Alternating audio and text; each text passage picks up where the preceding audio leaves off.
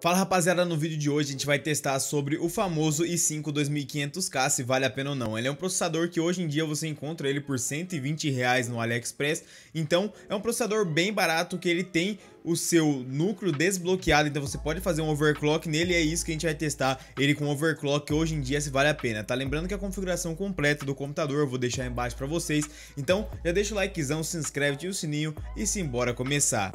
Bem galera, basicamente o PC é esse aqui, beleza? Ele é o i5 de segunda geração, eu comprei ele para estar tá usando ele como PC secundário para estar tá fazendo gravações e também testes, né, pra gente fazer em PCs mais fracos, tá? Inclusive ele tá aqui, eu vou mostrar pra vocês aqui, né, o cooler que eu coloquei, esse cooler aqui, rapaziada, ele foi 100 reais, beleza? Tem vídeo desse cooler no meu canal principal, mas se vocês quiserem eu posso estar tá repostando ele aqui ou dando uma mostrada rápida, tá? Ele tá em torno de 100 reais e ele refresca muito bem para estar tá fazendo overclock nesse processador, tá bem tranquilo tranquilo, beleza, rapaziada? Depende também bastante do gabinete, né? Se tiver um resfriamento bom, já não vai ter tanto problema, tá? Então, tá aí o computador, tá? Lembrando que ali embaixo é uma GTX 1050 Ti de 4 GB, certo? Da Galaxy, se eu não me engano, e o processador tá ali, né? O i5 de segunda geração 2500K com a fonte ali 300 watts, né? 80 Plus bronze, se eu não estou enganado.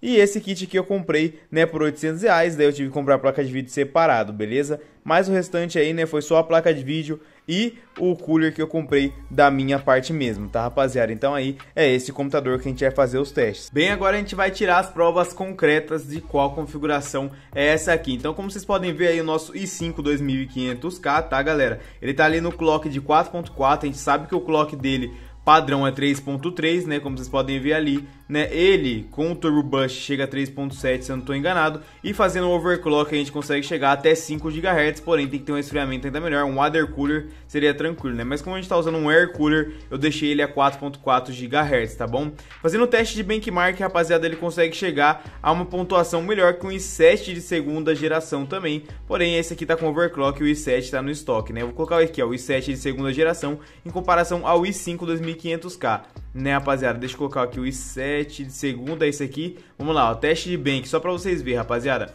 Pega aí pra vocês verem a comparação, mano. Que doideira, né, rapaziada? A gente vai ver aí o i5 de segunda geração batendo no i7.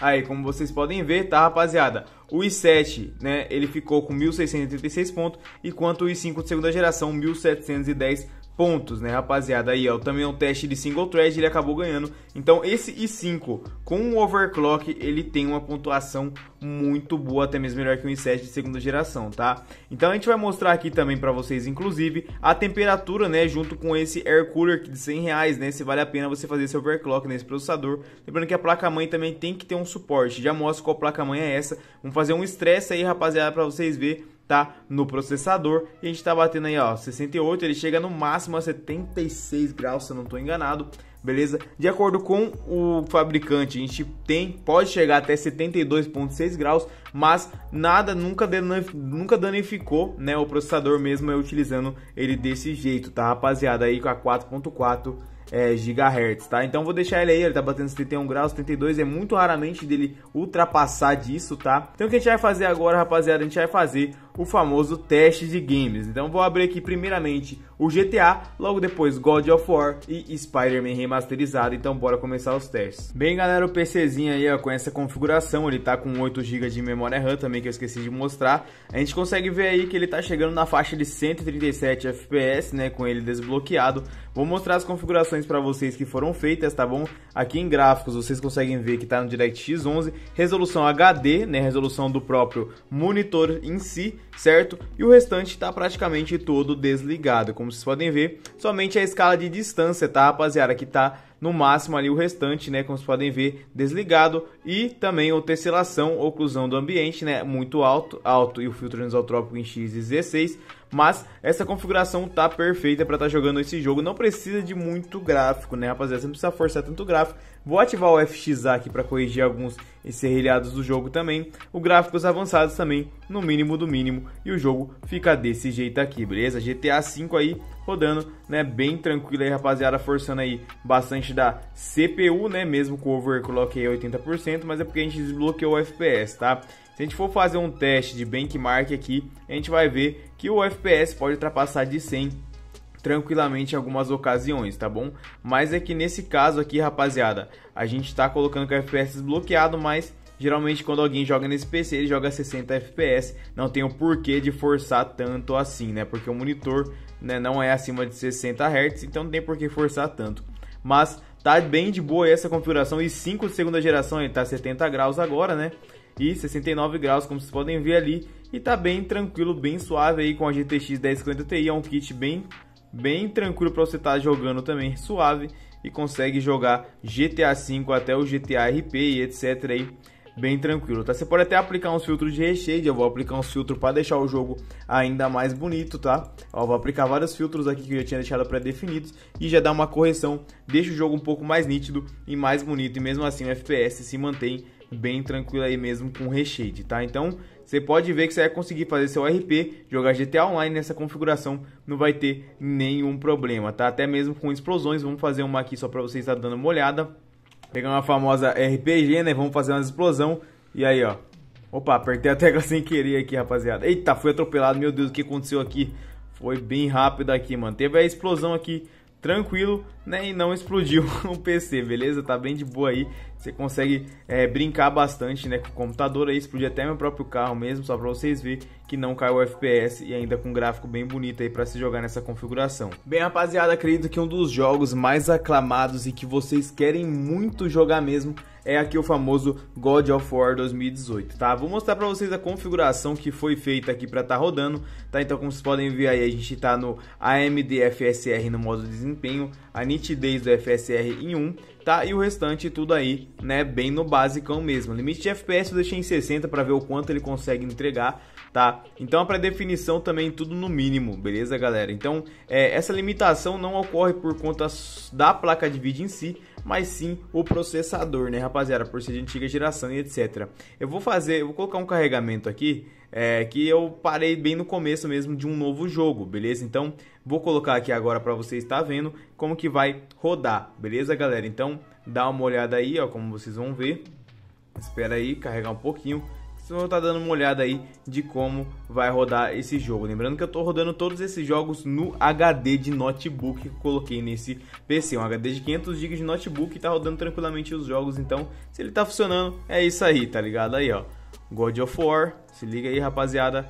Rodando aí a 60 frames, galera. Ele bateu os 60 frames ali, vocês viram, né? Dá pra jogar bem tranquilo mesmo. A gente consegue brincar bastante com essa configuração aí tá fazendo um overclock, né? Claramente, fazendo um overclock a gente consegue. Beleza, agora é hora de jogar com o controle. Vamos ver como que ele vai lidar, né? A experiência de jogar nesse computador, rapaziada. Aí, ó.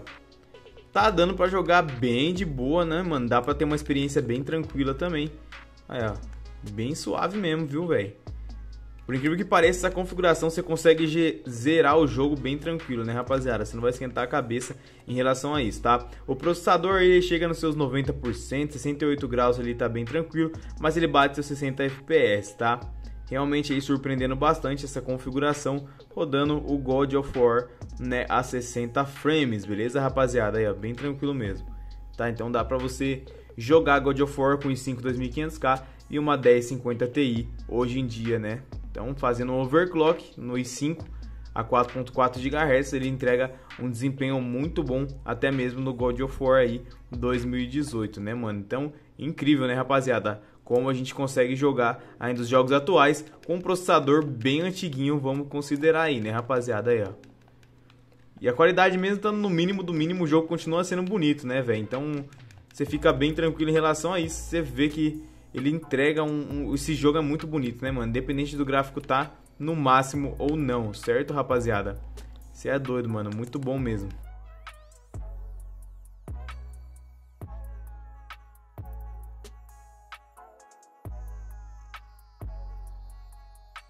Bem, galera, carregado aí o famoso Spider-Man, né? Homem-Aranha. É um jogo que ele ficou conhecido por usar bastante os processadores e vamos ver o que, que vai acontecer rodando Spider-Man aí com nossos 8 GB de RAM e no, o nosso i5 de segunda geração com a GTX 1050 Ti, tá bom?